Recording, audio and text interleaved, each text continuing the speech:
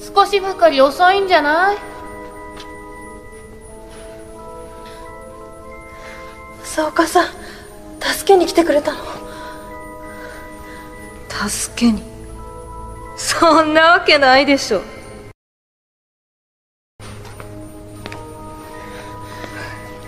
逃げるチャンスを失ったな。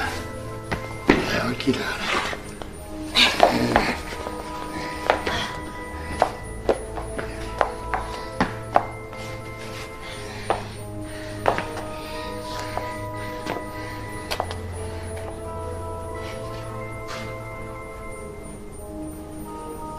る黒蛇？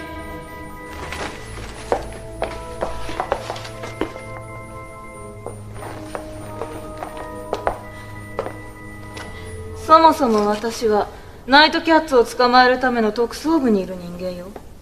お花畑もいいとこね。頭を殴られすぎたのかしら。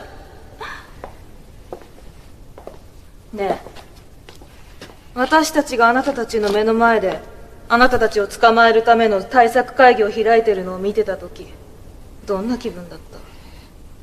さぞかし愉快だったでしょうね。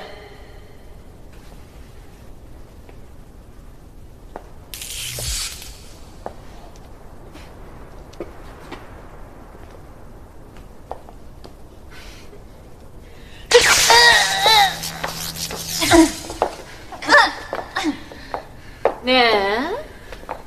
こいつが憎いんでしょ？わかるわよね。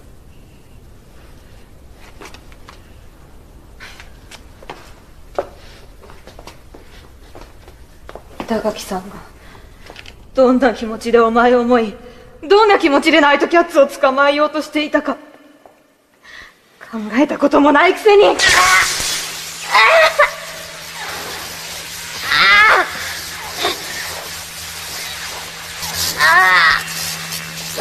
が憎い。今まで今までよくも私たちを騙してくれたわね。私は騙すつもりなんかなかった。うるさい。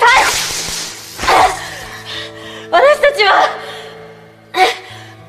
両親の敵を討つためにナイトキャッツになったの。両親の敵ですって。そんなでたらめ言うんってないわよ。ねえ。そろそろ私たちの関係を教えて。もっと苦しみなさいよ。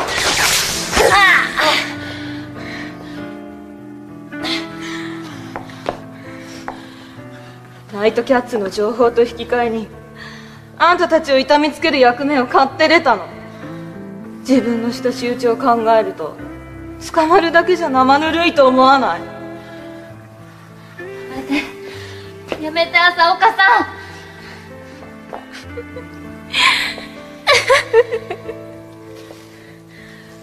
ん。いいの。確かに私たちは俊之さんや朝岡さんを利用してた。その罪はしっかり受けないと。聞き分けが良くて助かるわ。なら遠慮なく。